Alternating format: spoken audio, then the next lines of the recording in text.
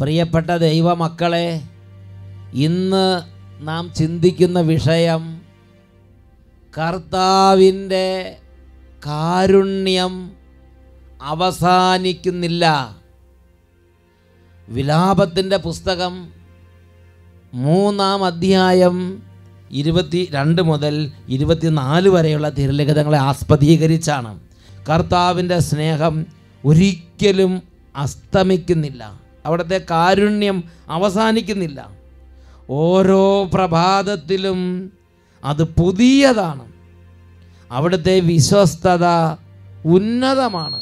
നമ്മൾ അവിശ്വസ്തരായിരിക്കുമ്പോഴും നമ്മൾ വിശ്വസ്തത പുലർത്താതെ നമുക്ക് തക്കവും തായവും പോലെ സാഹചര്യം അനുസരിച്ച് പാപത്തിലും എല്ലാ നിഷേധത്തിലും ഒരുപാട് ലോക രീതിയിൽ കർത്താവിനോട് വിരോധമായിട്ടൊക്കെ ജീവിക്കുമ്പോഴും അവിടുന്ന് നമ്മളോട് വിശ്വസ്തനാണ്.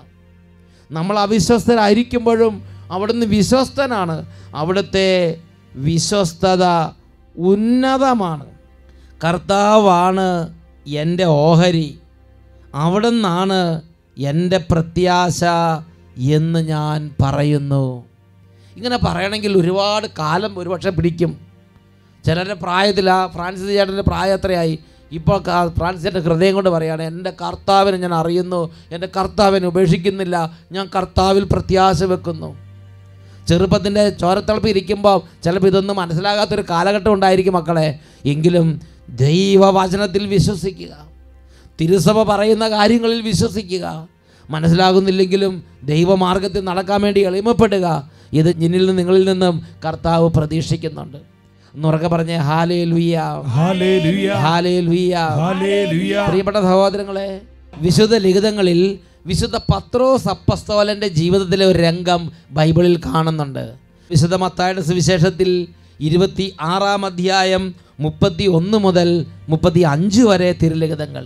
യേശു ശിഷ്യമാരിയ്ക്കുകയാണ് പീഡാസംഗനത്തെക്കുറിച്ച് കുരിശുമരണത്തെക്കുറിച്ചെല്ലാം പറഞ്ഞു. ആ പുതിയ ഉടമ്പടിയുടെ രംഗങ്ങളെല്ലാം അരങ്ങേറി.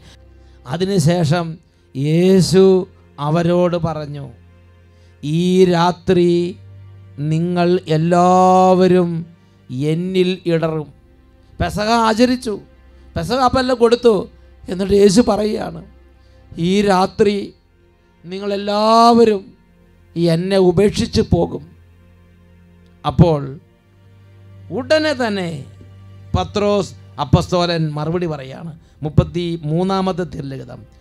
അപ്പോൾ പത്രോസ് അവനോട് പറഞ്ഞു എല്ലാവരും നിന്നിൽ ഇടറിയാലും ഞാൻ ഇടറുകയില്ല. യേശു പറഞ്ഞു സത്യമായി ഞാൻ നിന്നോട് പറയുന്നു ഈ രാത്രി കോഴി കൂവുന്നതിന് മുമ്പ് നീ എന്നെ മൂന്ന് പ്രാവശ്യം നിഷേധിച്ച് പറയും. പത്രോസ് പറഞ്ഞു നിന്നോടുകൂടെ മരിക്കേണ്ടി വന്നാൽ പോലും ഞാൻ നിന്നെ ഉപേക്ഷിക്കില്ല. അത് ആ ഹൃദയത്തിന്റെ സ്നേഹമാണ്. ആ ഹൃദയത്തിന്റെ നിഷ്കളങ്കതയാണ്.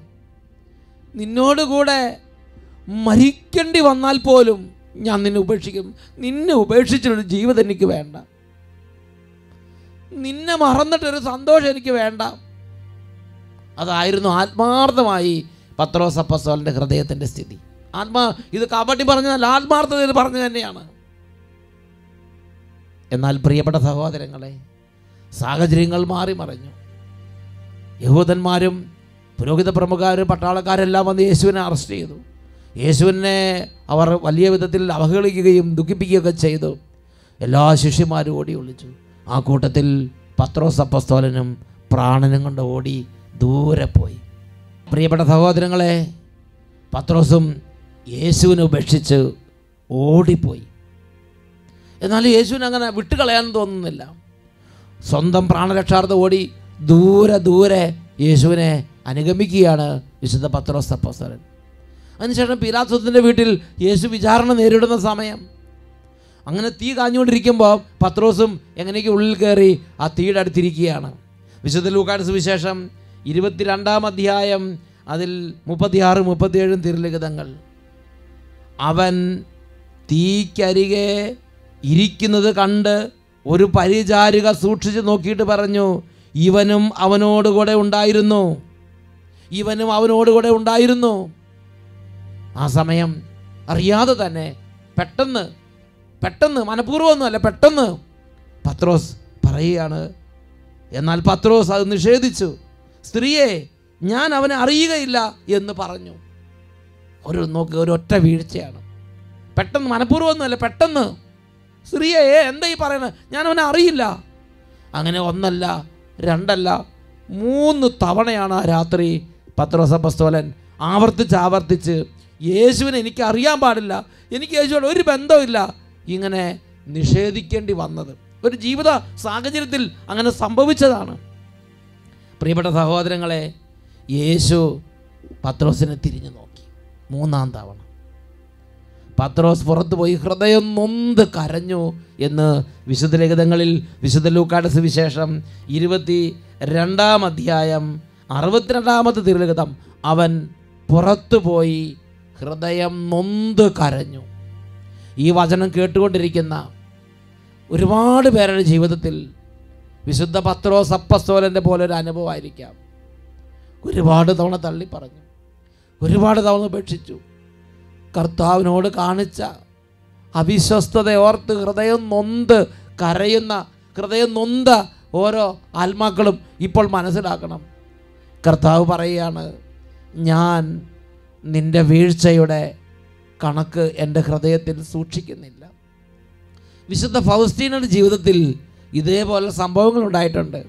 ഒരു നാൾ ദിവിനാഥനായ ഈശോ വന്നപ്പോൾ വിശുദ്ധ ഫൗസ്റ്റീന ഈശോയുടെ മുമ്പിൽ ദുഃഖപൂർണയായിരിക്കുകയാണ് അത് നമ്മൾ വായിക്കുന്നത് ആയിരത്തി നാനൂറ്റി എൺപത്തി എട്ടാമത്തെ ഗണ്ണികയാണ് ദുഃഖപൂർണയായിരിക്കുന്ന വിശുദ്ധ ഫൗസ്റ്റീനയുടെ അടുത്ത് വന്ന് ഈശോ പറയുന്ന ഒരു ഭാഗമാണ് നാം വായിക്കുന്നത്. പുണ്യപരിപൂർണതയ്ക്കായി അത്യധികം അഭിലഷിക്കുന്ന ആത്മാവേ നിന്റെ പ്രയത്നങ്ങളിൽ ഞാൻ സംപ്രീതനാണ്. എന്നാൽ എന്തുകൊണ്ടാണ് നിന്നെ മിക്കവാറും ദുഃഖിതയും നിരുന്മേഷയുമായി ഞാൻ കാണുന്നത്? എന്നോട് പറയുക ഈ ദുഃഖഭാവത്തിന്റെ അർത്ഥം എന്താണ്? ഇതിന് കാരണം എന്താണ്? ഞാൻ കർത്താവിനോട് പറഞ്ഞു എന്റെ ദുഃഖത്തിന്റെ കാരണം ഇതാണ്. ആത്മാർത്ഥമായ എന്റെ പ്രതിജ്ഞകൾക്ക് വിപരീതമായി ഞാൻ അതേ തെറ്റുകളിൽ തന്നെ വീണ്ടും വീണ്ടും വീഴുന്നു. പ്രഭാതത്തിൽ ഞാൻ പ്രതിജ്ഞകൾ എടുക്കും. എന്നാൽ സന്ധ്യാസമയത്ത് നോക്കുമ്പോൾ അവയിൽ നിന്ന് ഞാൻ എത്രയോ അകലെയാണെന്ന് കണ്ടെത്തുന്നു.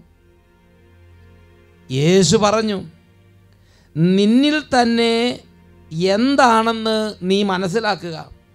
നിന്റെ വീഴ്ചകളുടെ കാരണം നീ നിന്നിൽ തന്നെ വളരെ ആശ്രയം വെക്കുന്നതും എന്നിൽ അല്പം മാത്രം ആശ്രയിക്കുന്നതുമാണ്. നമ്മുടെ ഈഗോ നമ്മളങ്ങോട്ട് പറയുന്നത് ഞാൻ നോക്കും ഞാൻ ഇനി പാപം ചെയ്യില്ല ഞാൻ കർത്താവിനെ ഇനി വേദനിപ്പിക്കില്ല.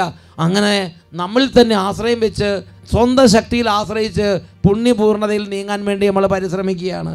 നിന്റെ വീഴ്ചയുടെ കാരണം നീ നിന്നിൽ തന്നെ വളരെ ആശ്രയിക്കുന്നതും എന്നിൽ അല്പമാത്രം ആശ്രയം കണ്ടെത്തുന്നതുമാണ്. എന്നാൽ അത് നിന്നെ വളരെയധികം ദുഃഖിപ്പിക്കാതിരിക്കട്ടെ. നിന്റെ ദുരവസ്ഥയ്ക്ക് അല്പം പോലും ക്ഷീണിപ്പിക്കുവാൻ സാധിക്കാത്ത കരുണയുടെ ദൈവമാണ് ഞാൻ. നിന്റെ ദുരവസ്ഥ നിന്റെ ദയനീയത നിന്റെ വീഴ്ച ഇതുകൊണ്ട് ക്ഷീണിപ്പിക്കാൻ പറ്റാത്ത കരുണയുടെ ദൈവവുമായിട്ടാണ് നീ ബന്ധപ്പെട്ടിരിക്കുന്നത്. ഇത് നീ ഓർമ്മിക്കുക. എത്ര പ്രാവശ്യം ഞാൻ നിന്നോട് ക്ഷമിച്ചു എന്നതിന്റെ കണക്ക് ഞാൻ സൂക്ഷിക്കുന്നില്ല. അവിടുത്തെ കരുണ അവസാനിക്കുന്നില്ല എന്നാണ് ഇതിന്റെ അർത്ഥം. എത്ര തവണ നിന്നോട് ഞാൻ ക്ഷമിച്ചു എന്നതിന്റെ കണക്ക് ഞാൻ സൂക്ഷിക്കുന്നില്ല. വിശുദ്ധ പത്രോസ് അപ്പസ്തോലൻ ഇങ്ങനെ ഒരുപാട് അവിശ്വസത കാണിച്ചു. അതിനുശേഷം കടലിൽ മീൻ പിടിക്കാൻ പോയി. ശിഷ്യന്മാരെല്ലാം ഭിന്നിപ്പിച്ചു. അങ്ങനെ പല കാര്യങ്ങളും ചെയ്തു. തിബേരിയാസ് കടൽ തീരത്ത് ഉത്ഥാനം ചെയ്ത് ഈശോ പ്രത്യക്ഷപ്പെട്ടു. ഈ നന്ദികേടുകൾക്കെല്ലാം ശേഷം വീണ്ടും ഈശോ അവരെ ആദ്യം കാണുന്ന സമയം. ഈശോ ശിഷ്യന്മാർ ഒരുമിച്ച് കൂടി എല്ലാവർക്കും ഭക്ഷണമൊക്കെ എടുത്തു കൊടുത്തു. അവിടെ ഇരിക്കുമ്പം പത്രോസപ്പസോലിന്റെ ഹൃദയം വിങ്ങുകയാണ്. കാരണം ഒരുപാട് നന്ദികേട് കാണിച്ചിട്ടുണ്ട്. പക്ഷേ ഈശോ അതൊന്നും കണക്ക് വെച്ചിട്ടില്ല. ഈശോ സഭയുടെ അജപാലന അധികാരത്തിന് താക്കോൽ എടുത്ത് കൊടുത്തിട്ട് പറഞ്ഞു യോനായുടെ പുത്രനാ ആശേവയോനെ നീ എന്റെ അജഗണത്തെ മേയിക്കുക എന്ന് പറഞ്ഞ്. ആദ്യത്തെ മാർപ്പാപ്പയായി തിരുസഭയുടെ അല്ലെങ്കിൽ സ്വർഗത്തിന് താക്കോൽ എടുത്ത് പത്രോസ് അപ്പോസ്റ്റലിന് കൊടുക്കുന്ന രംഗമാണ് വിശുദ്ധ യോഹനാന്റെ സുവിശേഷത്തിൽ ഇരുപത്തൊന്നാമത് അധ്യായത്തിൽ നമ്മൾ കാണുന്നത്. ഈ സമയം എഴുന്നേറ്റ് നിൽക്കാം. ഇത്രമാത്രം നന്ദി കേടും വീഴ്ചകളും നിഷേധിക്കലും ഉപേക്ഷിക്കലും അവിശ്വസ്തതയും നിറഞ്ഞെങ്കിലും യേശു പത്രോസ് അപ്പസ്തോലിനെ അതൊന്നും ഒരു കാര്യമായി കണക്കാക്കാതെ എല്ലാം ക്ഷമിച്ച് ക്ഷമിച്ചതിന് കണക്ക് വെക്കാതെ കരുണയുടെ അനുഭവം കൊടുക്കുകയാണ്. പത്രോസിന് ആദ്യത്തെ മാർപ്പാപ്പയായി ഉയർത്തി. എല്ലാം ക്ഷമിച്ചതിന്റെ അനുഭവങ്ങൾ പത്രോസിന് കൊടുത്തു സ്നേഹം കൊണ്ട് പൊതിഞ്ഞ്. ഹാലേ ലുയ്യ Hallelujah.